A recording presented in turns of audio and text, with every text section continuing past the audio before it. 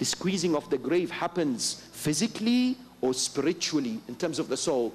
Because if an individual dies and drowns in the sea, or God forbid they are burnt, the body is burnt, what happens? Does the grave squeeze them? No, it is the squeezing of the soul, not necessarily of the body. It's the squeezing of the nafs. This happens how? This happens due to a number of reasons. Rasulullah Muhammad sallallahu alayhi wa alihi wasallam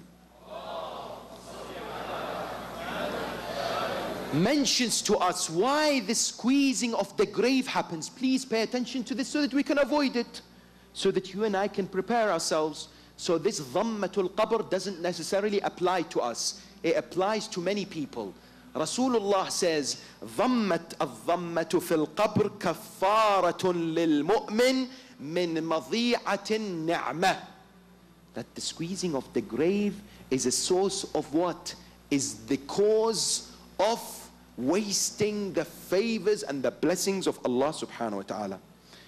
Is a form of purification for the believer. Here in the United States of America, on an annual basis, 40% of the food that is produced annually is thrown away. That equates to 165 what?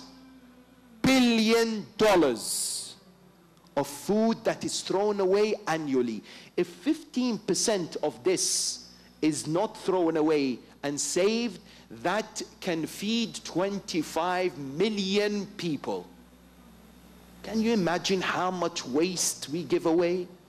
Can you imagine what we can do to reduce wastefulness and israf? There are a number of things that we can do. Number one, we do not buy, for instance, food that we do not necessarily eat.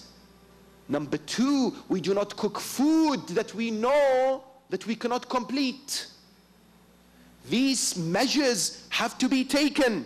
And indeed, shopping wisely, making sure that the leftovers are eaten, and all this are sources by which we can ensure that the ni'mah that Allah subhanahu wa ta'ala has presented us and has given us, and indeed some others around the world, many would not necessarily have, is preserved.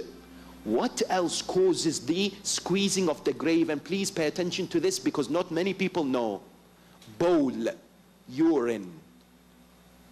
What does that mean?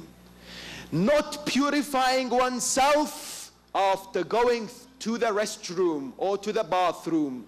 This is in hadith that Islamic jurisprudence says that water must be used to purify oneself after passing urine twice if the water is not running.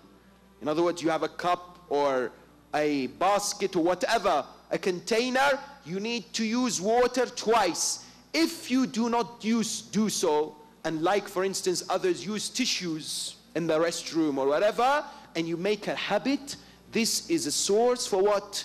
For the squeezing of the grave. And this is found in hadith. That's number one. Number two, the other cause is what?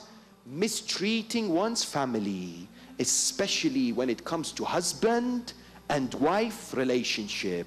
You see, too many times when it comes to marital relationships, we don't know, we cannot distinguish between what is the duty and responsibility and what is ethically right. Please pay attention to this. Many men think that their wives have to cook with them, have to clean the house, have to breastfeed their children. Otherwise, they're not performing their duties or responsibilities. Whereas nothing in the religion of Islam compels the wives to do so. And if the husbands demand this from the wives, then the wives can demand payment. Tell me, how many wives out there go forward and say, I've cooked for you, this costs $50? Nobody, right? Because if she does, God knows what will happen to her. Whereas in reality, the religion of Islam says, don't look at marriage as a give and take. I give this for you, you do this for me. Because it works the other way around. If the husband then charges the wife for the actions that she does, the wife can do the same thing. Or if the wife does it, the husband could do the same thing and says, What? You're not allowed to leave the house. Baba, I want to go and visit my family. No, you're not allowed. If the relationship is like this, is bound to break down because in Sharia law we are told, according to many of the fuqaha, the wife has to seek the permission of her husband before leaving the house. Not every time. If she knows the husband is happy by going out, no problem. She doesn't have to seek the permission every time. I'm going out, yes, okay, go out. No, but this type of duties and responsibilities, if it's give and take, then this is the end of the marriage. It has to be founded on love, on mutual respect, on trying to reconcile on diffusing situations. Likewise, when the wife does what? Becomes patient with the husband if they've come back tired or angry or they've seen things during their working day and they express love and they display their emotion towards the husband out of compassion, Allah subhanahu wa ta'ala rewards them greatly. Rasulullah says that if a lady, if a wife does this, Allah grants her the reward given to Asiya, the wife of Fir'aun. Imagine so much reward exists for those who appreciate the importance of keeping what? A marital relationship based on love and respect and understanding, not treating each other as adversaries or enemies, not trying to get one over the other, because this would cause what?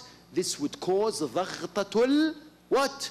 Dhaghtatul qabr. And the, the other final cause of dhaghtatul qabr is namima. Namima is what? Is slandering, speaking ill of others and spreading rumors. Rasulullah says, Tuba man shagalahu uyubuhu an uyub nas. May the mercy of God and paradise be reserved for those who are busy with their shortcomings and that distracts them from looking at the shortcomings of others. What's the business of mine when I look at what people do and indeed dissect their lives? That's not my business.